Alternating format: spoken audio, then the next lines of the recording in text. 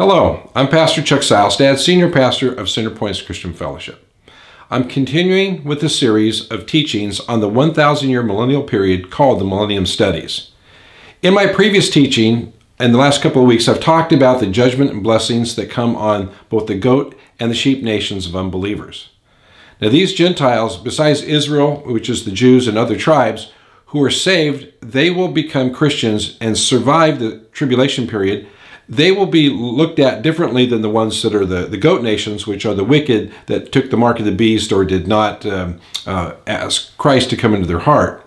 Now, during the 75 day period between the ending of the tribulation and the beginning of the millennium, the Gentiles who will be judged according to their stance before the king, both the, the wicked and, of course, the uh, ones that are Christians.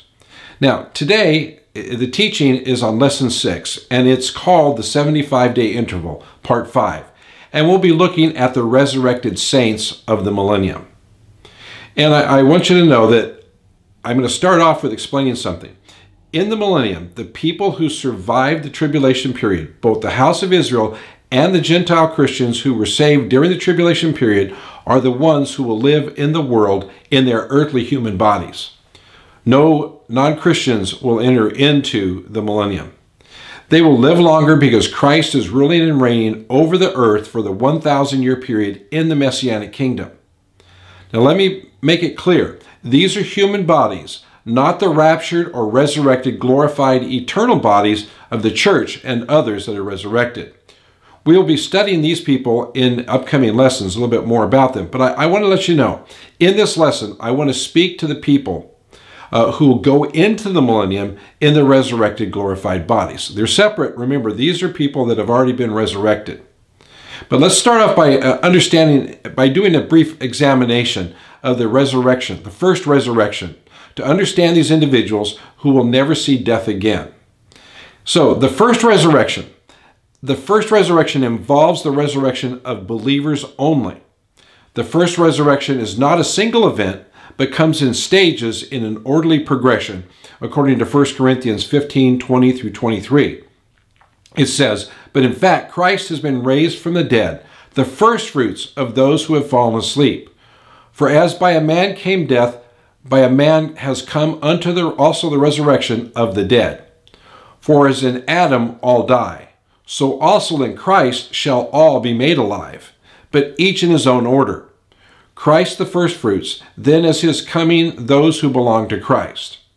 So after declaring what a resurrection of the righteousness will occur, and, and it's going to happen, uh, Paul states in verse 23 that I, that I just read, that the righteous will each be resurrected in his own order.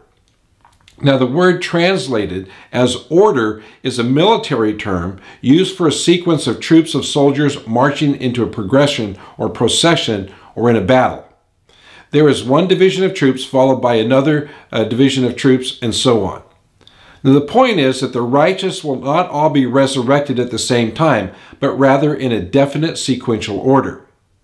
Now, let me make this clear. I'm not talking about multiple raptures. There is only one rapture, and that's the pre tribulation rapture of the church. I'm talking here about the stages of the first resurrection.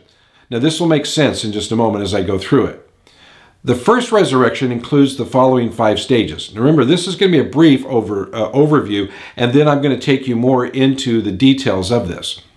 Now, the first stage was the resurrection of Jesus. We see that in 1 Corinthians 15 23.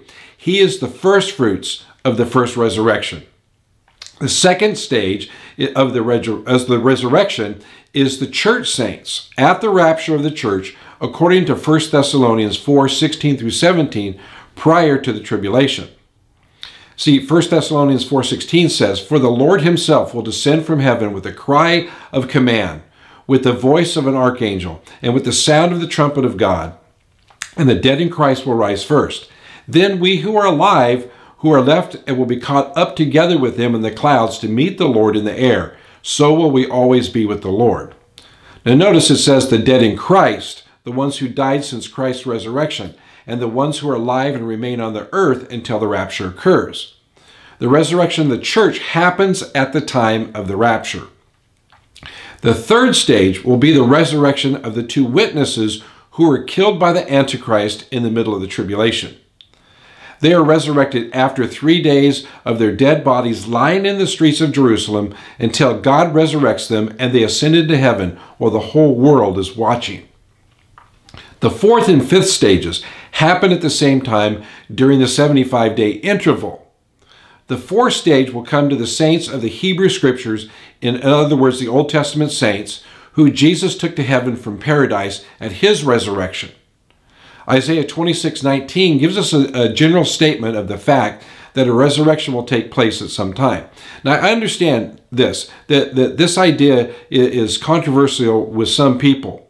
But the Bible really points this out because remember, the people that are that are resurrected in the rapture are the church. The church, remember, they they started after the resurrection of Jesus on the day of Pentecost, whereas and then they it, the church ends at, at the rapture. And that's when they're resurrected. But these are the Old Testament saints, all of those that died up to the point in time that Jesus was resurrected. Isaiah 26 19 says, Your dead shall live, their bodies shall rise. You who dwell in the dust, awake and sing for joy, for your dew is a dew of light, and the earth will give birth to the dead. Now, a clearer picture is found in Daniel 12 2, and it says, The many of those who sleep in the dust of the earth shall awake, some to everlasting life, some to shame and everlasting contempt. Well, in context of Daniel 12, the prophet is speaking of events after the tribulation. Therefore, this is the time that the Old Testament saints will be resurrected into their new bodies. Now, of course, I've always been taught in the past that it was uh, they were resurrected uh, with their new bodies at the same time of the rapture. But remember, the rapture says the dead in Christ. So, in, in further study and reading lots of different scholars talking about this, this makes perfect sense. So the verse draws a clear distinction between the resurrection of the righteous and the resurrection of the unrighteous. The resurrection of the righteous will happen during that 75 day period before the millennial period, but the unrighteous will not be resurrected until the time of the great white throne judgment. They are judged and then thrown in the lake of fire. Now, only the first group will be resurrected at that time in order to partake of the blessing of the millennial kingdom. The other people mentioned in, in Daniel 12 2 They'll have to wait for that great white throne judgment. Now, many biblical scholars agree that the Old Testament saints that are now in heaven have their soul and spirit, of course, their consciousness, they're there, they're residing in heaven with Christ, awaiting their bodies to be reunited to them only in the resurrected form. The the church, those that have died before the rapture that are in heaven right now, they will receive their bodies at the rapture. Now, the fifth stage will be the resurrection of the tribulation saints. Look at Revelations 20, verses 4 through 6. Now, let me read Revelation 25 and 6. It says, The rest of the dead did not come to life until the thousand years were ended. But this is the first resurrection. Blessed is the Holy One. Remember, that's the, the that's going to be later because uh, it, ties to verse four. But this is the first resurrection. Is blessed is the holy is the one who shares in the first resurrection. Over such the second death has no power. But they will be priests of God and of Christ, and they will reign with him for a thousand years. That's the millennium. According to Revelation 20, verse 5, the resurrection of the tribulation saints completes the first resurrection, and it is separated from the completion of the second resurrection by the 1,000 years. and we'll talk more about that later on, but I want you to to see that this resurrection takes place is going to be Old Testament saints and the tribulation saints. Now, the point of the Revelation 20, verse 6 is that the first resurrection involves believers only, and that is why it's blessed and holy to be a participant in the first resurrection. So we can see that the first resurrection is done in stages with Christ first, and then when that's completed, you will see then the uh, the resurrection of the um, the church, and then you're going to see the, uh, as again uh, I said, the witnesses, the two witnesses, then the resurrection of the Old Testament and the tribulation saints.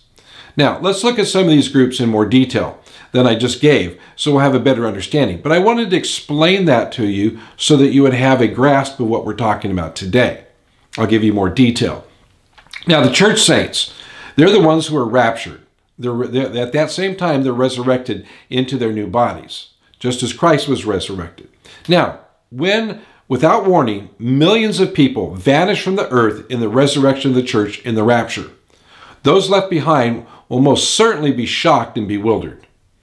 Heavily saturated Christian uh, countries like America and United Kingdom and some other places, they'll likely fall into panic as they grieve the loss of their loved ones and experience their societal functions begin to rapidly falter. You're going to see a big change. And, and what vacuum is going to happen, that's when the Antichrist and, his, and, and these other things are going to start taking place sometime after that. But a supporting verse of the Bible to show the rapture of the church also supports the resurrection of the church saints, uh, and it's found in 1 Corinthians 15 52.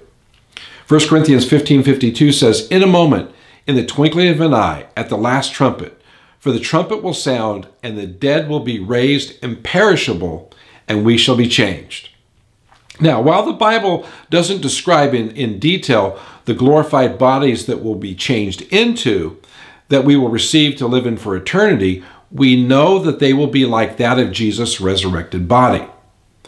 One human, uh, you know, like a bodies are described in 1 Corinthians 15, 42 through 53. These, are these human bodies, our human bodies, are, are described as perishable, dishonorable, and weak, all due to sin. Our glorified bodies will be imperishable, honorable, and powerful. Our new bodies will no longer be natural bodies subject to decay and death. We will live in victory over sin and death, won by Christ on our behalf. You see that in 1 Corinthians 15 57. As imperishable bodies, they will no longer suffer from sickness and death, nor will they ever be subject to heat and cold or hunger and thirst. Now, our new bodies will be honorable in that they will not be shamed or shameful because of sin. And just as our earthly bodies are perfect, uh, they're perfectly suited for life on earth, our resurrected bodies will be suited for life in eternity, every place that we're at. We will have form and solidity to touch. Uh, Luke 24, 39 through 40. You can see that. We will likely be able to enjoy food, but will not be driven by it as a necessity or a fleshly desire. See Luke 24, 41 through 43. The resurrected bodies we inherit will be more like what God originally intended rather than what we now abide in. See, gone will be the infirmity and the weakness of our sinful flesh. Rather, we will be glorified with Christ, and that glory will extend to the bodies that we inhabit. We will no longer be subject to temptation, but will serve God in perfection, made perfect by Him for all eternity. Okay, let's look at the resurrection of the two witnesses. Remember from our teaching on the tribulation period that the two witnesses really irritate and anger the people who are not saved. They continue to preach about God, witnessing to convert the lost. They perform all kinds of miracles and things that under the power of God. They're hated and people try to kill them, but they in turn are killed. Without doubt, doubt, I'm telling you, at the midpoint of the tribulation period, after three and one half days of celebrating the death of the two witnesses at the hand of the Antichrist, the celebrators will be startled to see them resurrect and ascend to heaven in Revelation 11 7 through 12. And if that's not enough, Revelation uh, 11 13 says that when they are resurrected and ascend, that at the hour there was a great earthquake. And it says a tenth of the city fell. 7,000 people were killed in the earthquake, and the rest of them were terrified and gave God glory up in heaven. See, this is important to understand. The, the resurrection of the saints is a resurrection. At that time, they will receive their glorified bodies. Now, the resurrected saints of the millennium. Let's look at this. At the beginning of the millennium, there will be two remarkable resurrections. These will most likely take place during the 75 day interval period and will occur simultaneously. It's believed by many scholars that the Old Testament saints and the tribulation saints will both be raised from the dead in the form of their glorified eternal bodies. Now remember, they will be in, living in heaven with, with Christ, but not in their bodies until this point in time. Both these groups will be living in heaven with the Lord up to this time, but they will not yet have had their resurrected eternal bodies given to them until the beginning of the millennium. And it's interesting to note that although they most likely won't receive their resurrected bodies until this time period, They will be invited guests as friends of the groom, which is Jesus, at the marriage supper of the Lamb just prior to the second coming of Christ. Now, let's look at the identity of the two groups who are resurrected during the 75 day interval. Group one, it's the Old Testament saints. Now, in case of the Old Testament saints, they are the righteous people who died prior to Christ's resurrection. Remember, once Christ led the Old Testament saints that were in paradise, a section of hell, separate, uh, they were separated from God, but they were also separated from the wicked dead who were in torment even to this day. Now, in Luke 16, 19 through 31, Jesus talks about the rich man and the poor man Lazarus. Now, not to be confused with Jesus' friend Lazarus, the, the brother of Mary and Martha. Now, uh, specifically, Luke 16, 22 through 26 reads, The poor man died and the angels took him to the place of honor next to Abraham. The rich man also died and was buried. He went to hell and was suffering terribly. When he looked up and saw Abraham far off and Lazarus at his side, he said to Abraham, Have pity on me. Send Lazarus to dip his finger in water and touch my tongue. I'm suffering terribly in this fire. Abraham answered, My friend, remember that while you lived, you had everything good and Lazarus had everything bad. Now he is happy and you are in pain. And besides, there's a deep ditch, a, a, a, gulf here between us that no one from either side can cross over. So let me state here that Jesus was showing that there is no soul sleep. Soul sleep is where people believe that you die and you go into the grave until you're finally resurrected.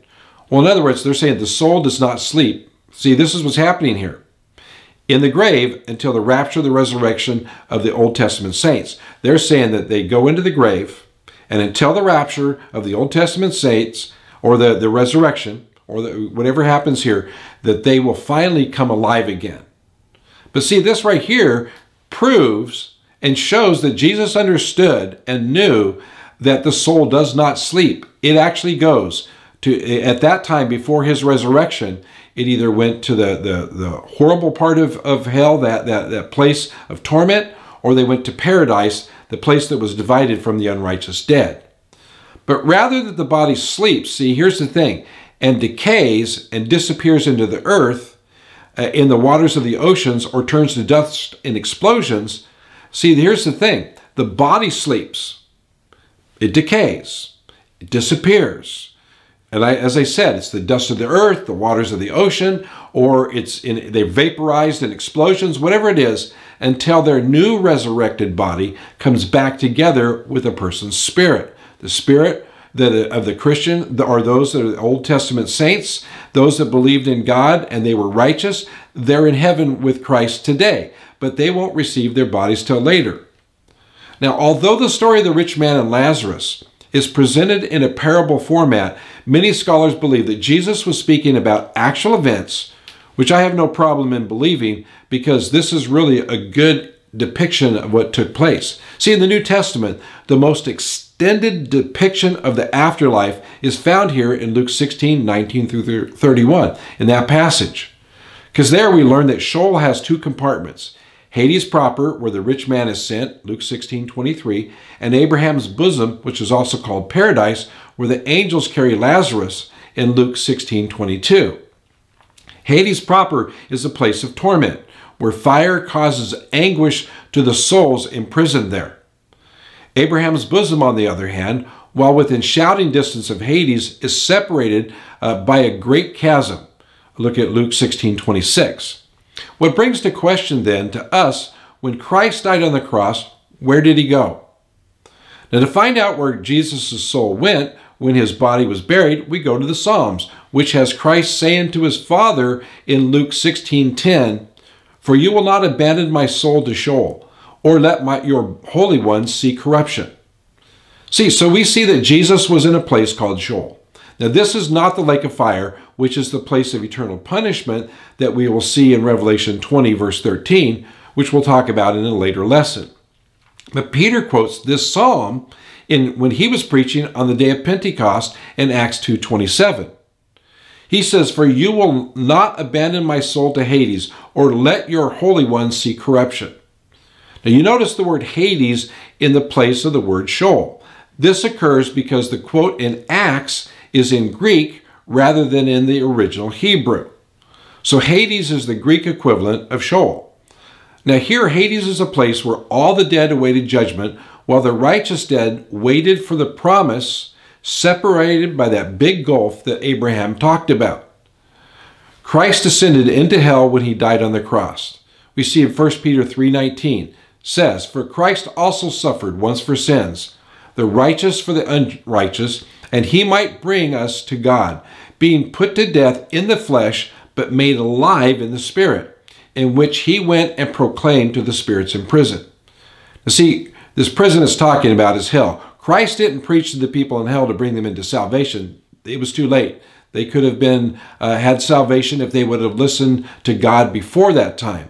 But he came to proclaim the truth about his mission and who he is. So following his death for sin, then Jesus journeys to Hades to the city of death and he rips his gates off the hinges. He liberates Abraham, Isaac, Jacob, David, John the Baptist, and the rest of the Old Testament faithful, ransoming them from the power of Sheol. You can see that in, in Psalms 49 15, Psalms 86 13, and Psalms 89 48. So, see, they had waited there for a very long time, not having received what was promised, so that their spirits would be made perfect along with the saints of the new covenant. See that in uh, Hebrews 11 39 through 40 and Hebrews 12 23. See, Christ emptied out paradise. So it's no longer a holding place for the righteous dead. And, and here's the thing what's incredible remember, Jesus, when he died on the cross, he told the thief that today I will see you in paradise because he truly believed in Christ and he became saved at that very moment, went down into, uh, into paradise when he died. Jesus met him there. Now, either during the three days of the grave, here's the thing that was taking place. All these things were going on. Either at this time or right, see, right after the resurrection, most likely, Jesus ascends to heaven and brings the ransomed dead with him. He takes them out of paradise. So that now paradise is no longer down there in the place of torment next to it, but is up in the third heaven, the highest heaven, where God dwells, as you can see in 2 Corinthians 12, verses 2 through 4. So God raised him from the dead, reunited his soul with his now glorified body, so that he is the first fruits of the resurrection harvest. Now, in the church age, when the righteous die, they aren't merely carried by angels to Abraham's bosom. They don't go there anymore, to paradise. They depart to be with Christ, which is far better, as it says in Philippians 1.23. The wicked, however, remain in Hades in torment until the final judgment when Hades gives up the dead who dwell there. They are judged according to their deeds, which will happen at the great white throne judgment, and then death and Hades are thrown into hell, into the lake of fire, we see in Revelations 20, verses 11 through 15. So, since the time of Christ and his resurrection, anyone who has accepted Christ as their personal Savior and dies, their spirit no longer goes to paradise, as I said, but instead goes to heaven to be with the Lord. 2 Corinthians 5 8 says, We are confident, yes, well pleased, rather to be absent from the body and to be present with the Lord. See, there again, no soul sleep. Immediately the spirit goes to be with the Lord. See, these Old Testament saints include righteous people in God's sight and all the 12 tribes of Israel, which includes the Jews from the tribe of Judah, and there were also many Gentiles identified in the Old Testament who believed in God and worshiped God as well. Now, I want to show you this. We're, we're looking at, I want to talk more about the Old Testament saints. So let's look at some of the Gentiles in, in just a moment. I want to mention this so you understand. As we get into the Old Testament saints, many of them, not only Jews, not only all the rest of the house of Israel, but there were also Gentiles. And these Gentiles, some scholars believe it are, are the Old Testament saints. Think about this in the resurrection. So there will be Gentiles as well. There will most likely be righteous people prior to the flood that makes it into the Old Testament saint resurrection. Noah and his people. Think about it. His family, uh, they were probably in the resurrection. Now, when I say this, remember, they were not uh, the family of Abraham, which became the Israel, uh, the chosen seed of, of God, the chosen family. So these were prior.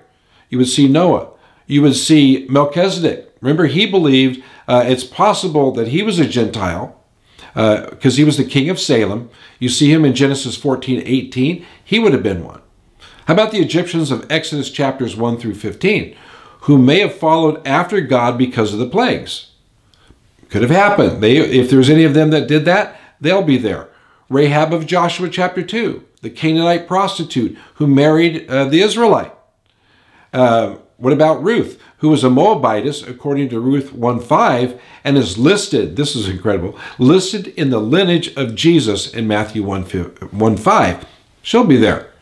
How about the Queen of Sheba? Possibly, you know, 1 Kings uh, 10, verses 1 through 13. She's mentioned in Matthew 12.42.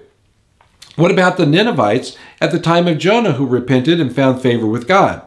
This account is found in Jonah 3, verses 5 through 10, and they're mentioned in Matthew 12 41. So they would probably be there. A, lot of them, if they stayed with God and, and after they had repented, they may be there as well. And even King Cyrus of Persia, he might be there as well because uh, he might be counted under the resurrection of the old saints, the Old Testament saints. In Ezra 1 3, it says, King Cyrus publicly declared that the Lord God of Israel, he is God. So we never know who will or will not make it, but I have no doubt that there will be Gentiles that will be included with the Israelites in the Old Testament saints' resurrection. Not just the ones found in the Bible, but many that lived that worshiped and believed in God. So, you know, I, I, I can see those being a part of that Old Testament saints' resurrection because their spirits would be with God now. Now, what about group two, the, the tribulation saints who are resurrected? Now, not only will there be a resurrection of the Old Testament saints, as I just talked about, but as I mentioned, there, there will also be the resurrection of those saints who were killed in the course of the Great Tribulation.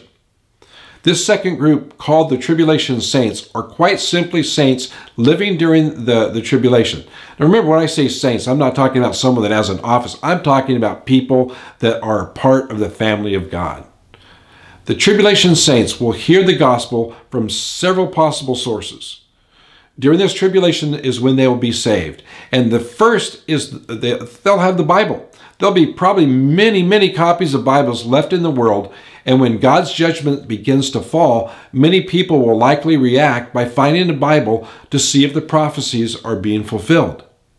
Many will have heard the gospel of Christ before the rapture, but did not choose Christ at that time, and contrary to what some people say, they will be saved after the rapture. They, will they'll come to realize they had heard the, the voice of the Lord, they'd heard preaching and teaching of the word, yet they rejected at that time but then their heart knows that, that it was true and will convert to Christ at that time. And see, they'll find themselves in the tribulation and will repent at that time. Many of the tribulation saints will also have heard the gospel from the two witnesses. The Bible says that two individuals who will prophesy, remember these witnesses, for 1,260 days, three and a half years, and perform great miracles. And then there are the 144,000 missionaries from the tribes of Israel who are redeemed and sealed by God during the tribulation. Revelation 7 1 through 8. Immediately following the description of their sealing in Revelation 7, we read of the multitudes of the tribulation saints are saved from every corner of the world. You can see that in verses 9 through 17. So we know that many people will be saved during the tribulation period and the tribulation saints will serve their Lord Jesus Christ in the midst of desperate surroundings. Faithful to the end, many of these believers will die for their faith. But in their death, they overcome. They overcome Satan by the blood of the Lamb and by the word of the testimony. They did not love their lives so much as to shrink from death, says in Revelations 12 11. So the ones who will be resurrected at the beginning of the millennium will be those who become Christians, both Jews and Gentiles, during the tribulation period and were killed because of their testimony or had died for other reasons. Revelation 7 9 points out that there's a great multitude of martyrs during the tribulation period. Which one could, they says, no one could number, of all the nations, tribes, peoples, and tongues. And the fact that they come from all nations means that they are made up of both Jews and Gentiles. John sees a vast number of these tribulation saints who have been martyred by the Antichrist. This fact that they were killed is brought out by Revelation 20, verse 4, where the Apostle John tells us, Then I saw thrones, and seated on them were those to whom the authority to judge was committed. Also, I saw the souls of those who had been beheaded for the testimony of Jesus and for the word of God, and those who had not worshipped the beast or its image, and had not received its mark on their foreheads or their hands. They came to life and reigned with Christ for a thousand years. So in this verse, John sees two collections of saints co reigning with the Messiah. The first collection of people are to those who judgment was given. The judgment spoken of here relates to the judgment seat of Christ, the Messiah. Those saints will be the church saints who will be resurrected at the rapture and will receive their rewards in the course of the judgment seat of Christ. The second collection of saints John sees are identified as those who were beheaded because they did not worship the Antichrist or his image. And they will not be willing to consent to receiving the mark of the beast. So obviously, then, these cannot be anyone but the tribulation saints. And they too will be resurrected at this, at this time during the 75 day interval period prior to the beginning of the millennium. Now, what's amazing is that for those returning Jews and the rest of the house of Israel who were persecuted during the persecution campaign of the Antichrist, and they live and lasted out the tribulation. So many of them may still be mourning uh, and the loss of their loved ones that got killed by the Antichrist. Imagine this that when they discover that their loved ones, if they were believers in Christ, are also resurrected at the time of the tribulation saints are resurrected, and will be reigning with the Messiah, Jesus Christ, in Israel. I mean, what a marvelous homecoming this is going to be because you, see you had a relative that just in the last several years had been killed by the Antichrist, and all of a sudden you see them again and they're ruling with Christ. It's, it's incredible. And so, see, the resurrection of the tribulation saints will rule with Christ. The tribulation saints that made it out of the tribulation alive, now those, they'll be the ones who live during the millennium in their earthly bodies. So, Daniel informs us that whoever survives these additional 75 days will be blessed. This is because those who somehow manage to live through the 75 year tribulation, or the seven, excuse me, 70 uh, year tribulation period. Let me say that again. Those that somehow manage to live through the seven year tribulation period and the 75 day interval will enter into the millennium and populate the nations. Some people will be allowed to live in the 1,000 uh, year messianic kingdom of the millennium, but others won't. And as you can see, this will be a very busy time for Jesus as he sets up his kingdom. He'll bring judgment upon the wicked who survive the tribulation. He'll cleanse or rebuild the temple in Jerusalem. He'll resurrect the Old Testament and tribulation saints, and he'll restore the earth to in anticipation of his kingdom. So the resurrected saints and the rapture of the, the church, those the, which is also the bride of Christ, as we know, will rule and reign with Christ, Jesus our King. Now, it, in our next couple of lessons, of course, we're going to be going on and we're going to look at the millennium itself and what takes place during that time. So for now, let's pray. Dear Heavenly Father, we just thank you for this opportunity for us to be able to come to you and to be able to worship you, to be able to listen to the word, and to be able to study. I ask right now that you will guide us and direct us in all that we do, that you'll open up our minds and our spirits to your word so that we will have a spirit of understanding, and that you'll give us a definition to what we are learning so that we can speak about it to others, so they too uh, could be saved. I ask right now that you'd watch over each one of us, bless us, help us to be students of the word. And we thank you for it. In your precious holy name we pray, Lord Jesus. Amen. Well, thank you for joining in with me today for this message. To find out more about Centerpoints Christian Fellowship, visit our website at www.centerpoints.org. On our website and in the narrative on YouTube and Facebook, you can find a link to our YouTube channel with all our video messages recorded so far, including this one.